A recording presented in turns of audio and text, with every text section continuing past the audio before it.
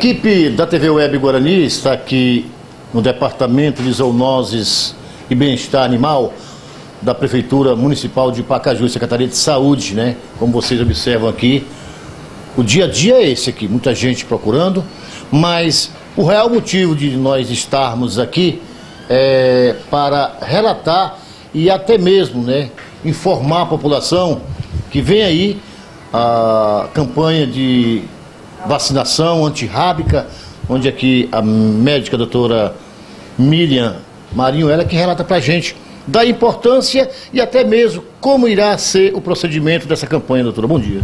Bom dia. Quero agradecer a visita de vocês.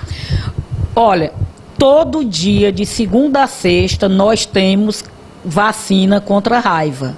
Mas essa semana é diferente. Essa semana nós vamos ter o dia D, que é sábado. E eu estou pedindo às pessoas que anteciparem, fica até melhor. Pode vir aqui o dia todinho. A gente tem a vacinação. E sábado, os postos são os mesmos. Ai, mas qual é o posto? É o posto que foi do ano passado, do ano retrasado. A escola que foi do ano passado, a escola do ano retrasado, são os mesmos. Te pergunto, teremos alguma tenda ali em frente à Secretaria de Saúde, como todo ano tem? Vamos vacinar na Secretaria de Saúde, de frente aqui. Nós temos vacina também no municipal, tem no, nos colégios ao redor da cidade. E também não esquecer que são com dois meses gato e cachorro. Um pedido: quem for levar seus gatinhos, não bote gato, dois, três dentro de um saco, porque é um, é um nó de gatos. Então tem muito ferimento. Tem que ter cuidado. Outro pedido: não mande seu filho levar um cachorro. Tem menino de 10 anos levando um cachorro do, do tamanho do menino. Cachorro grande tem que colocar a focinheira. Não pode sair com cachorro grande sem focinheira. É importante salientar porque são cuidados necessários para que o cãozinho não possa, digamos, até mesmo maltratar quem está cuidando dele. Né?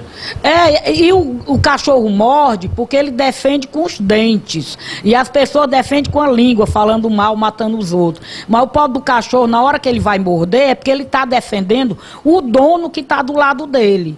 Então tem que usar a focinheira. Doutora Miriam, Todo dia é dia de cuidar do seu cãozinho, mas tem uma data específica, essa data é justamente agora. É importante que a população possa comparecer. É sábado, depois do dia 10, que é sexta-feira. Então, sábado, próximo sábado, tem campanha de vacinação antirrábica no município e também na parte rural, no setor rural. Muita gente acha que ah, o dia a dia do departamento de zoonoses aqui é apenas nessa data, mas não, todos os dias funciona. Todos os dias, nosso departamento, eu estou aqui dia de terça e quinta, mas de segunda a sexta fica o Marcos e ele faz a vacinação. Tanto também faz o exame contra leishmaniose, o, o exame para saber se o animal tem leishmaniose, o teste rápido. Para a gente termos uma, uma noção assim da importância dessa vacina, quais as consequências né, de um cachorro não vacinado poderá, digamos, ocasionar para o ser humano? Morte, morreu.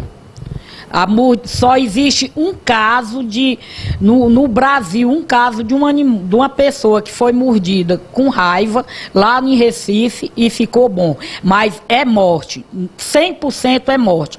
Quem cria um cachorrinho ou um gato e não vacina contra a raiva, está querendo morrer.